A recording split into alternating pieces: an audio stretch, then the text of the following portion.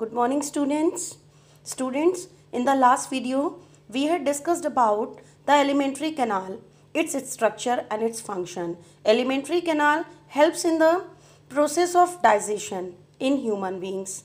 Now, in this video, we will be discussing about digestive glands which are also important and play a very important role in the digestion of in human beings because these glands produce variety of digestive juices. These digestive, digestive juices consist of variety of digestive enzymes, helps in the complete digestion of food. So now we are going to discuss about digestive glands. There are several types of digestive glands. Number one, salivary glands.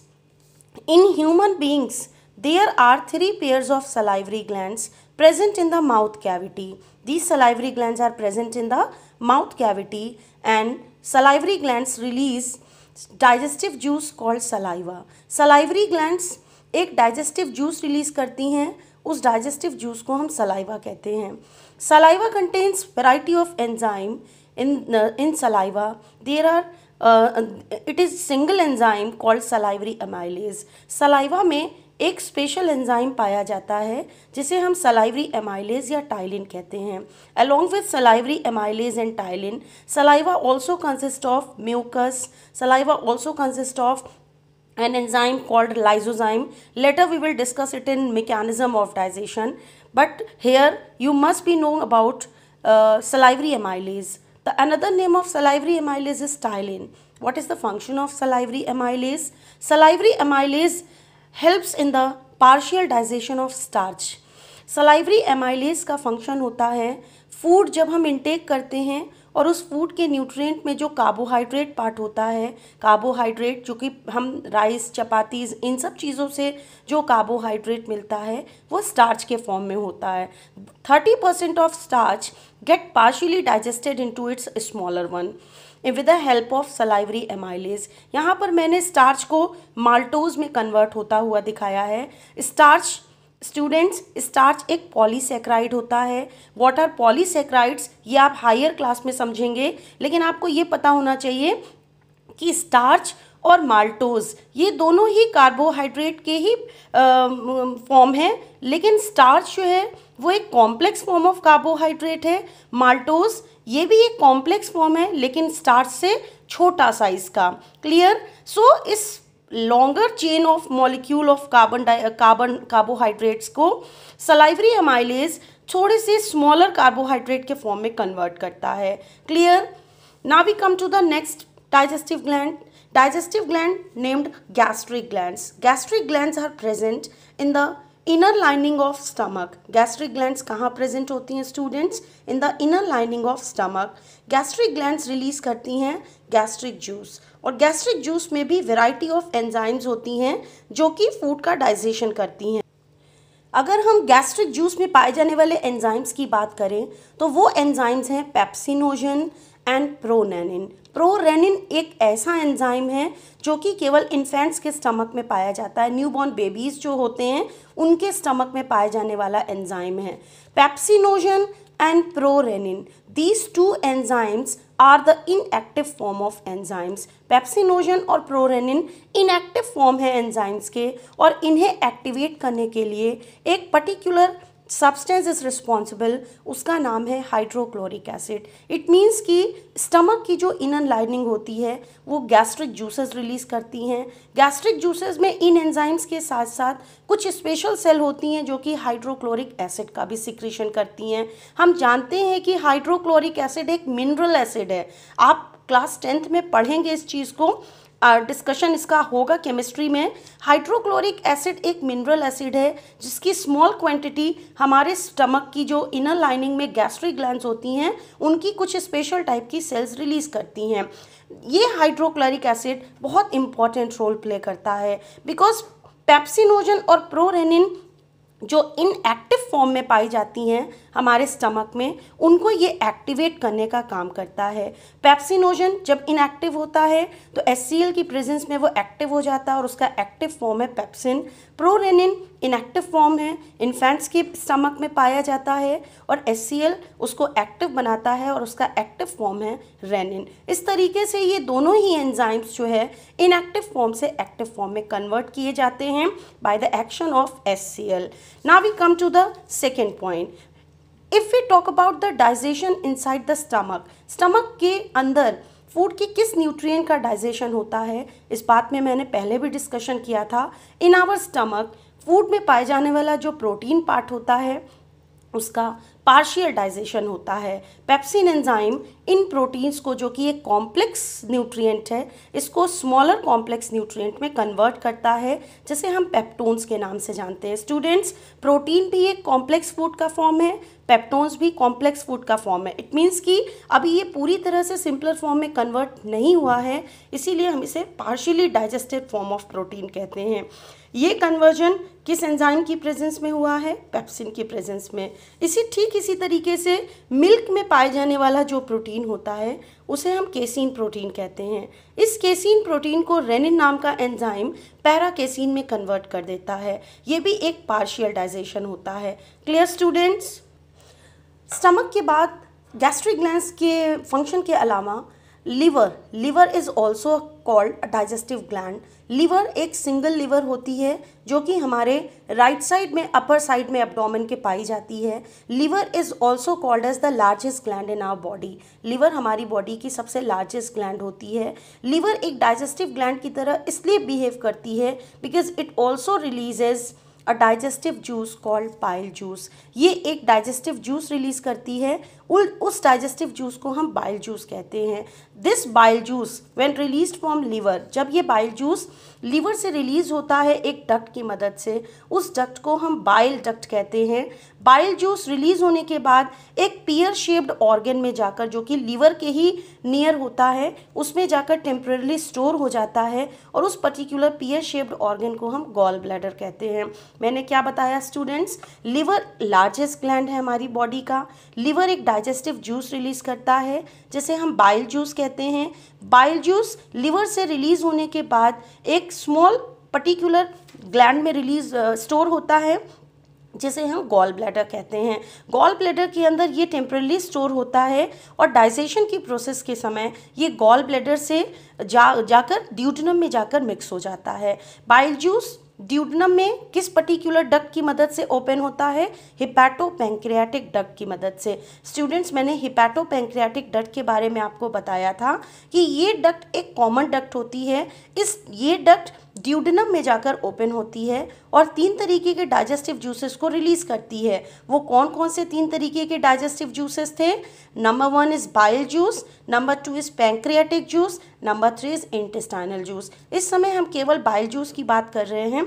अगर bile juice duodenum में जब release होता है तो bile juice की अगर composition की बात करें तो बाइल जूस के अंदर कोई भी डाइजेस्टिव एंजाइम नहीं पाया जाता। बाइल जूस एक एल्कलाइन जूस होता है।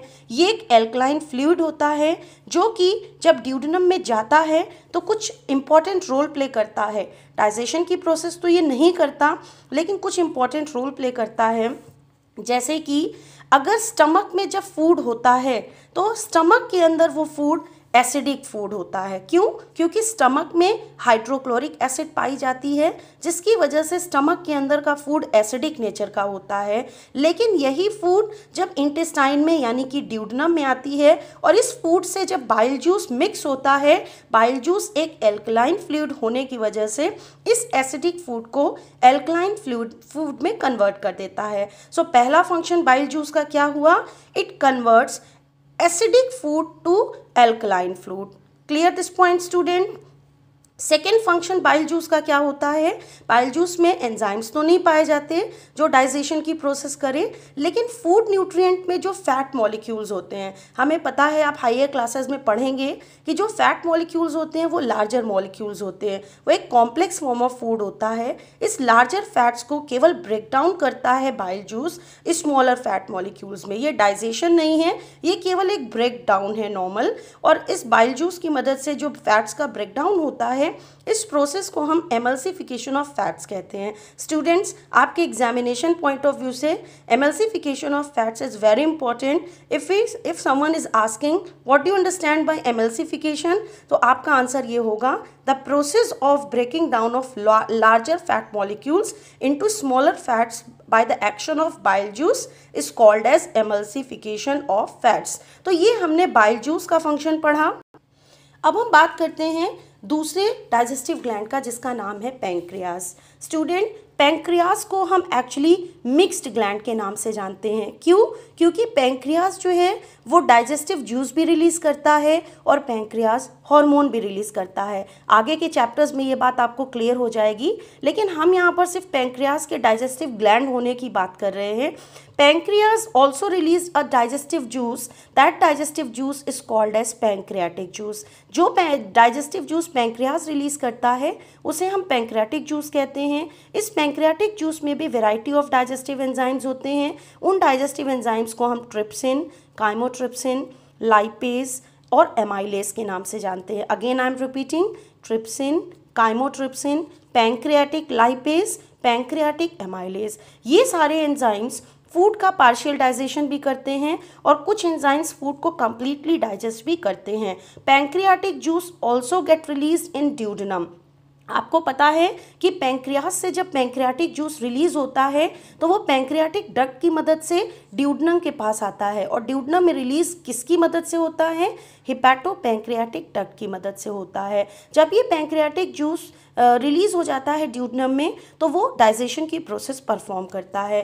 किस तरीके की चीज़ों का डाइजेशन ये करता है? फ़ूड में पाए जाने वाले स्टार्च का भी, फ़ूड में पाए जाने वाले प्रोटीन्स का भी, और फ़ूड में जो एमल्सीफाइड फैट्स हैं, जिन फैट्स का एमल्सिफिकेशन हो चुका है, उनका भी ये जो है पार्शियल डाइजेशन करता है। इट मीन्स कि अगर हम पैंक्रियाटिक जूस की बात करें तो पैंक्रियाटिक जूस हर तरीके के फ़ूड न्यूट्रिएंट्स का डाइजेशन करते हैं। Clear this point, students? अब हम बात करते हैं इंटेस्टाइनल ग्लैंड्स की। हमें पता है कि इंटेस्टाइनल ग्लैंड्स स्मॉल इंटेस्टाइन के जेजनम पार्ट में पाई जाती हैं। जिस तरीके से बाइल जूस और पैंक्रियाटिक जूस ड्यूटनम में रिलीज़ होती हैं ठीक इसी तरीके से इंटेस्टाइनल ग्लैंड्स भी स्मॉल इंटेस्टाइन में एक जूस रिलीज़ करती है। उन जूस को हम इंटेस्टाइनल जूस कहते हैं। इंटेस्टाइनल जूस का जो दूसरा नाम है सकस एंटरिकस ये एग्जामिनेशन पॉइंट ऑफ़ व्यू से आपके लिए बहुत इंपॉर्टेंट है। एग्ज़ाम में एक लाइन में पूछा जाता है what is the other name of intestinal juice तो आपका आंसर होगा सकस एंट्रिकस इंटेस्टाइनल जूस में भी वेराइटी ऑफ़ डाइजेस्टिव एंजाइम्स पाए जाते हैं, जैसे सुक्रेस माल्टेस लैक्टेज peptidase इन एंजाइम्स का काम होता है पार्शियली डाइजेस्टेड फ़ूड का कंप्लीट डाइजेशन इट मीन्स कि इंटेस्टाइनल जूस जो होती हैं, ये फ़ूड का कंप्लीट डाइजेशन करती हैं. वॉट टाइप ऑफ़ फ़ूड हर तरीके के फ़ूड न्यूट्रिएंट्स का, चाहे वो फैट्स हो, चाहे वो लिपिड चाहे वो प्रोटीन हो, चाहे वो कार्बोहाइड्रेट हो, हर तरीके के फ़ूड न्यूट्रिएंट्स का कंप्लीट डाइजेशन करती हैं. इट मीन्स कि हमने ये देखा कि सब तरीके के फ़ूड न्यूट्रिएंट्स अलग अलग जगहों पर जाकर पार्शली डाइजेस्ट होते हैं लेकिन फाइनली जो कंप्लीट डाइजेशन होता है फ़ूड न्यूट्रिएंट्स का, वो किन की मदद से होता है? वो इंटेस्टाइनल में जूस की मदद से होता है और कंप्लीट डाइजेशन होकर वो एब्जॉर्बेबल फॉर्म में कन्वर्ट हो जाता है। जब ये एब्जॉर्बेबल फॉर्म में कन्वर्ट हो जाता है तो ये फ़ूड अब रेडी है एब्जॉर्बशन के लिए। एक बार हम अपने पूरे पॉइंट्स को फिर से रिकॉल करते हैं स्टूडेंट्स सबसे पहले three pairs of salivary glands salivary glands mouth cavity में पाई जाती हैं। माउथ कैविटी में सलाइवरी ग्लैंड सलाइवा रिलीज़ करती हैं। सलाइवा में एक स्पेशल एंजाइम होता है, जिसे हम सलाइवरी एमाइलेज या टाइलिन एंजाइम कहते हैं। सलाइवरी एमाइलेज का काम होता है फ़ूड में पाए जाने वाला स्टार्च, जो कि एक कार्बोहाइड्रेट होता है, उसको पार्शियली डाइजेस्ट करना माल्टोज में। इसके बाद फ़ूड ईसोफेगस से होता हुआ स्टमक में आता है। स्टमक की इनर लाइनिंग में गैस्ट्रिक ग्लैंड्स पाई जाती है। Gastric glands gastric juice release करती हैं। गैस्ट्रिक जूस में पेप्सिनोजन और प्रोनेनिन नाम का एंजाइम होता है। पेप्सिनोजन एस की मदद से पैप्सिन में कन्वर्ट होता है और स्टमक के अंदर फ़ूड में पाए जाने वाले न्यूट प्रोटीन न्यूट्रिएंट का पार्शियल डाइजेशन होता है। इस तरीके से हम बात करेंगे लीवर की, इसके बाद पैंक्रियास की और इंटेस्टाइनल ग्लैंड की। लीवर हमारी बॉडी का लार्जेस्ट ग्लैंड है। लीवर एक बाइल जूस रिलीज़ करता है, एक डाइजेस्टिव जूस जिसे बाइल जूस कहते हैं। बाइल जूस में कोई डाइजेस्टिव एंजाइम्स तो नहीं पाए जाते, लेकिन बाइल जूस में कुछ ऐसे बाइल पिगमेंट्स, बाइल सॉल्ट्स पाई जाती है, जिनकी मदद से बाइल जूस का काम होता है लार्जर फैट मॉलिक्यूल्स को स्मॉलर फैट्स में कन्वर्ट करना। This process of conversion of larger fat globules into smaller fats is called as emulsification of fats bile juice का काम केवल एमल्सिफिकेशन करना होता है फैट्स का। इसके अलावा पेंक्रियाटिक जूस जो कि पेंक्रियाज रिलीज़ करती हैं पेंक्रियाटिक जूस में ट्रिप्सिन काइमोट्रिप्सिन पैंक्रियाटिक एमाइलेस और पैंक्रियाटिक लाइपेज नाम का एंजाइम पाया जाता है और पैंक्रियाटिक जूस में पाए जाने वाले इन एंजाइम्स का काम होता है। सब तरीके के फ़ूड न्यूट्रिएंट्स का पार्शियल डाइजेशन भी करना और कुछ ऐसे भी न्यूट्रिएंट्स हैं जिनको कम्प्लीटली डाइजेस्ट कर देता है। ये हम आगे मेकेनिज्म ऑफ़ डाइजेशन में पढ़ेंगे। इसके बाद आता है इंटेस्टाइनल गैन जो कि इंटेस्टाइनल जूस रिलीज़ करता है। इंटेस्टाइनल जूस का दूसरा नाम है सकस एंट्रिकस सकस एंट्रिकस में वेराइटी ऑफ़ डाइजेस्टिव एंजाइम्स पाए जाते हैं, जैसे सुक्रेस माल्टेस लैक्टेस पेप्टाइडेस ये एंजाइम्स पार्शियली डाइजेस्टेड फ़ूड का कंप्लीट डाइजेशन करते हैं। आई होप कि आपको ये सारी बातें समझ में आ गई होंगी। नेक्स्ट वीडियो में हम वो सारे स्टेप्स जो कि न्यूट्रिशन के समय परफॉर्म होते हैं, उनके बारे में पढ़ेंगे। Thank you students